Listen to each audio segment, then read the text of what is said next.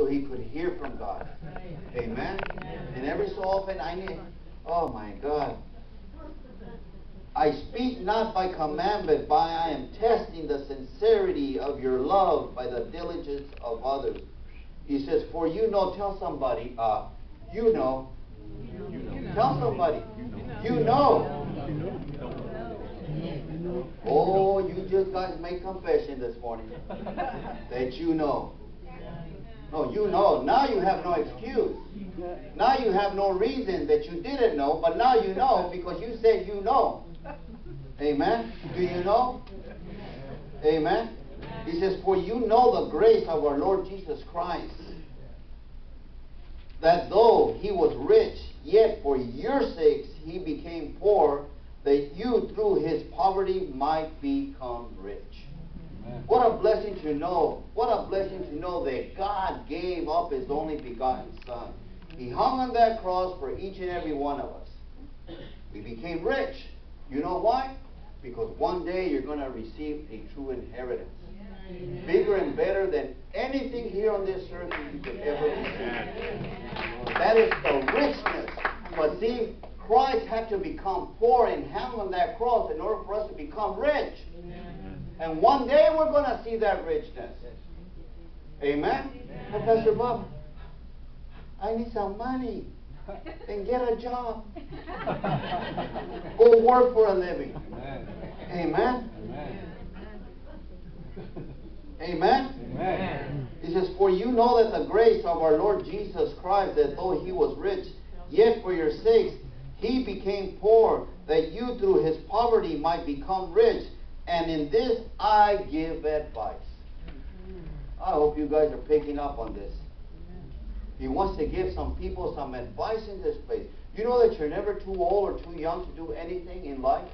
Huh? We're so quick to say, well, I can do all things through Christ, who gives me the strength through Christ Jesus. And then when the time comes to do it, well, I don't know if I can. now you're doubting. Then your big butt gets in the way again. Then you start using if. You know that you're not supposed to use if and but? Huh? when you're praying and believing for God?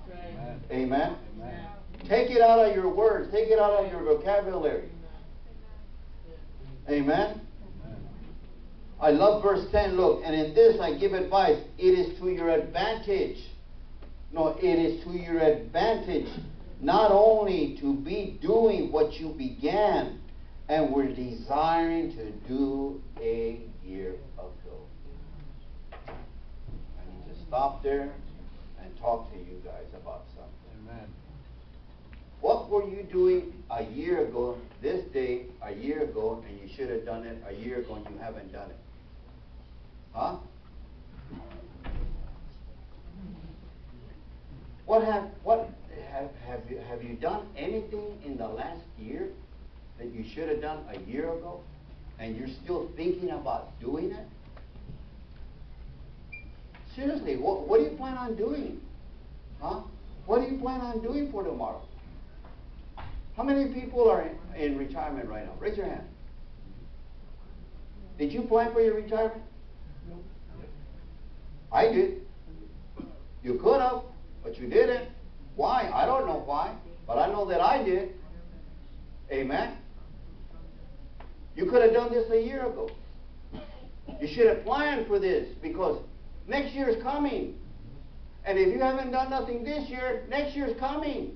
And if you've done next next year, next year is coming. And pretty soon, Master, I say, well, when the check, when, when's the check coming? What are you going to do? What are you going to do? What are you going to do? Huh? I planned my retirement. I spelled it out. I laid it out. I wrote it out. And I told my wife, this is what we're doing. This is what we're going to do. You know why? Because I don't like to be in lack. People. You got, are you guys picking up on this? Amen. I do not like to be or live in lack. Amen? Amen. It, it, it's hard. It's hard to live in lack. It's hard to live paycheck to paycheck, payday to payday. Amen? It's hard. I know, been there, done that, but one day the light came on The Lord woke me up and He says, This is what you need to do, Pastor Bob, because there's something that's going to come ahead and I want you to get ready for that. Guess what? I'm ready. Me and my wife are ready. Amen. I'm, I'm telling you, people, what are you doing now that you should have done a year ago that you haven't done today? Look, I'm only giving you advice. I'm giving you what the Word of God is saying. Are you ready for next year?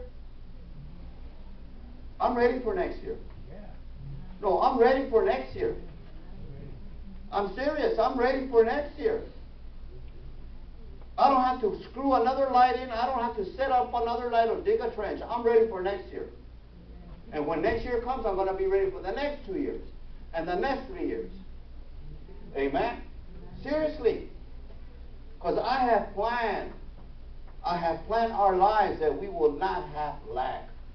Been there, done that, people. I remember when we were living payday to payday. I didn't even know who Peter was. I was born from HFC.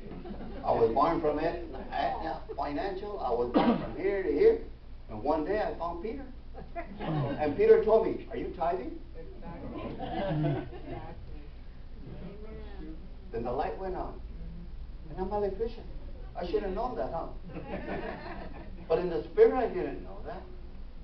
Amen? Why? Because I used to procrastinate about everything. Well, I don't know, babe. And I think, oh, we get into this this bind right here. A financial bind is ugly, people. It's an ugly thing to have in your lives. You know how hard it is to get out of a bind? Huh? That's why they call it a bind. Because you're bound up.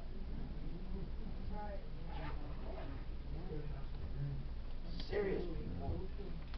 There's nothing better than to wake up in the mornings, people, to be at peace, to know that you got X amount of dollars put away. Amen. And the money's still coming in, and you put a little bit of more away, and a little, every month, more gusto, we're, we're comfortable. We're not rich, but we're not poor, and we don't lack because God has been good. Amen. Why? Because I have not procrastinated about doing what I had to do a year ago. Amen. Amen. Amen. Amen. And this is what the Word of God is saying here. Look, and in this I give advice. It is to your advantage. Don't you want to have an advantage in life? Huh? Don't you want to get ahead in life? Then get ahead in life. No one can do this for you but you. Yes, I have faith. Then you have faith, then keep doing it.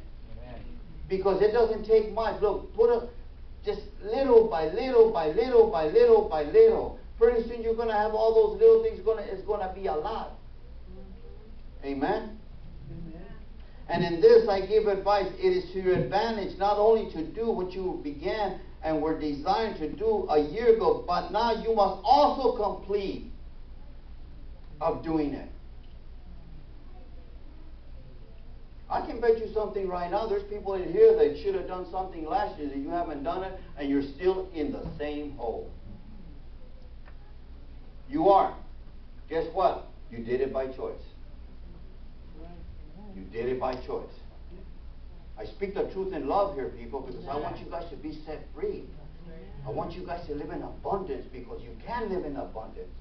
You can live the way God said we could live. I came to give you life, Amen. and I came to give it to you more what? Abundance. I pray that you would prosper in all things and also be in good health.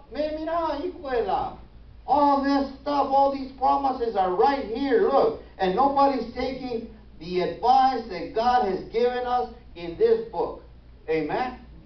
Put your face in this book instead of Facebook. and see what kind of an answer you get. Yeah. Amen? Amen. Am I speaking truth here this morning? Amen. I'm glad that I'm back home. I'm glad that I'm able to speak to some people that believe. Amen. Amen. I hope you run with this message. I hope that tomorrow morning when you wake up, you're going to wake up with a different mindset. That you're going to say, Pastor Bob said. No, I didn't say it. God did. I'm only giving you the message. Amen? Amen? Amen? Amen. He says, verse 11, he says, But now you also must complete the doing of it. Come on, you guys, quit holding back. Quit putting things off. Do the things that God has called you to do. Amen? That as there was a readiness to desire it, que no tienen ganas. Oh, what's all the Mexicans in here? Brother David, Cindy, uh, excuse me, I got to speak to the Mexicans. Betty, I got to, all the white people that are in here. I got to speak to the Mexicans. Que no tienen ganas. No tienen ganas. No tienen ganas. No, no tienen ganas. Then do it. Don't you have a desire? That's what I'm saying, Brother David. Don't you have a desire to do the things that you want to do in life? Huh? Man, it feels so good, man. Oh my God, people. When you when you're out there and you're fulfilling your desires in life, oh my God, what a good feeling. What a good feeling. What a good feeling when those desires, oh my God, and the Lord said that He would even give you the desires of your life. But there you are procrastinating, thinking about this, thinking about that, when and where and how, Pastor Bob, I don't know, I don't know. And if you don't know, then who knows? You just make confession early. He says, I know. Tell somebody I know. I know. No, that was earlier. See, you're paying attention. You're hearing the shepherd's voice. Just like those dumb sheep got lost. Amen. But now you also must complete the doing of it. That is, there was a readiness to desire it. So there also may be a completion out of what you have. Don't you want to complete? Hey, listen to me. Write it down. Like you said to Habakkuk, write down the vision. Come on, write it down, write it down, write it down. Go home after church or after you finish eating. Write it down. Don't go take a nap. Write it down. Don't go take a nap because you're going to take a nap. After you finish eating, está lleno de tamales. You're going to go take a nap. I know, because we do it. Amen? Go, go write it down, people. What do you want from God? What are your desires in life? What do you want to complete in life? Huh? Don't think about it anymore. Just do it. Amen? Quit procrastinating. Quit putting things off. That's all that's going to happen. You're going to put it on. You turn the switch off, the light goes on. You're in darkness again. Oh, I hope you guys pick up on that one. Amen? Amen? So there also may be a completion out of what you have. For if, it says, if there is a first willing mind, it is accepted according to what one has and not according what he does not have. What do you want in life? No, seriously, what do you want in life? Ay, ay, ay. No, what do you want in life? How many people need finances right now? My God, look at all the people. Don't be embarrassed to say, I need finances, Lord. Amen? No, seriously. Seriously. You may need something other than finances. You may need restoration with somebody. Huh? You may need something else in restoration or finances. You may need your bodies to be healed. You may need something else. You know, you may be looking for a new job, a new house, a new car, whatever it is, whatever it is, whatever it is. You know that God can make things happen in your life. Huh? But if you sit there and think about it, instead of doing what God says to do, amen? Amen? Amen. Just do it. No, don't claim yourself to be Nike because you're not Nike. Amen? For if there's a willing mind, it says, if you have a willing mind, you have a willing mind. Amen. Huh? Amen. How many people have a willing mind to do something? Oh my God. Brother Mo, mira, este camarada aquí, this brother can make things happen with wood. It's never too late, Mo. Don't be afraid to step out and do what you got to do, brother. Amen. Do what you got to do, Mo. Amen. Amen. You want you want to prosper, Mo? Huh? You need prosperity in your life, huh? Yes, sir. well, then do what you got to do, brother. You got talent. Ask God, open up the doors. Amen. Let people start calling me. I heard about you, Mo, that you're good, you're good with wood. Amen. There's other people in here. Brother Bob, he paints, but he doesn't want to paint no more. He doesn't have to. I'm an electrician by trade. I don't have to screw another light bulb on if I don't want to, but I do because the fruits are good. Amen. There's other people in here that have trades. There's other people in here that know what they're doing. Amen. Just go and do what you got to do. Quit procrastinating about it. Quit thinking about tomorrow. Amen. Like I said from the beginning, seek ye first the kingdom of God, and all these things shall be added. Quit thinking about seeking the righteousness of God. Just pray and believe. Amen. And be faithful to the things of God. Be obedient to the commandments of God, and God will see you through. I know that, I know that, I know. I know what I'm talking about. Amen. Amen. Amen. Verse 13 it says, For I do not mean that others should be at ease and you burden. Do you guys know what that means right there? Huh? Look, for I do not mean that others should be at ease and you burden. You actually believe that somebody should come and put the burdens on you so they could be at ease? No. Huh? No. Pastor Bob, I need a thousand dollars. What happened to the other thousand you had from last month? Well, well, go back to the well. Find out where you spent it. Why should I? Why? Seriously, people. Seriously, you shouldn't be a burden to nobody. Seriously, people, think about this. Think about this before you say yes to anybody. Huh? They come and borrow money from you, and all of a sudden, there's a burden. And pretty soon, they're at ease. Mm-hmm. That's right. I'm gusto. Mm. They're at ease. Well, I don't think, they won't really. My dad won't, won't go on, well, I'll pay him the next month. Mm-hmm. Then the next month. And pretty soon, you don't see the money anymore. Right. Now it becomes a burden. That's right. Amen. Amen. Amen. It says, For I do not mean that others should be at ease and you burdened by equality. It says, Now at this time your abundance may supply their lack, that their abundance may also supply your lack. Pay me back if you want some money from me. Oh. Amen. That there may be equality, as is written, He who gathers much had nothing left over, and he who gathered little had no lack. Mm-hmm. Amen. And this is God saying this. I want to end with this in the book of Second Corinthians, chapter 9, starting in verse 6. It says, But this I say, Amen. But this I say, he who sows sparingly will also do what? Reap sparingly. And the Lord gave me this. Look, you have not, you give not, so you have not. Amen. And he who sows bountifully will also reap bountifully. Amen.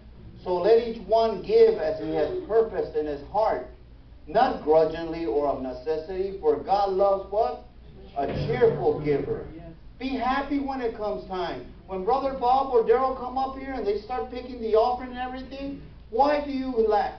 Why is it that you, why is it that you know that? Well, I don't understand this. I don't know why people have a hard time giving what belongs to God. Why? Why? You don't trust God? Well, wait a minute. You said you had faith. So if you have faith, you should trust God when it comes to your giving. Amen? No, seriously, I'm not here to pump you up so you can tithe more. Tithe if you want to. I don't care. You don't want to tithe, don't tithe. You don't want to give, don't give. A mí no me importa. God's going to supply our needs. That's right. Amen. No, seriously, people, I'm, I'm trying to help some people. Quit procrastinating. Well, I don't know if I should write. I'm making a thousand. Should I give a hundred to the Lord? Should I give a hundred to the Lord? No, should I give a hundred to the Lord? You can't live on 900 bucks a week. Something's wrong.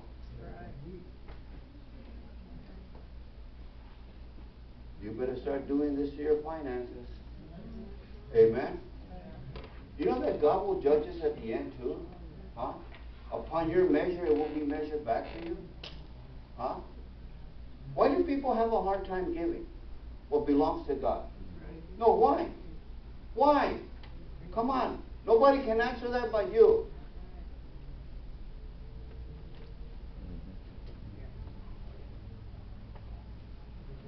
So let each one give as he has purpose in his heart, not grudgingly or of necessity, for God loves a cheerful giver. And God is able. Tell God, tell somebody, God is able.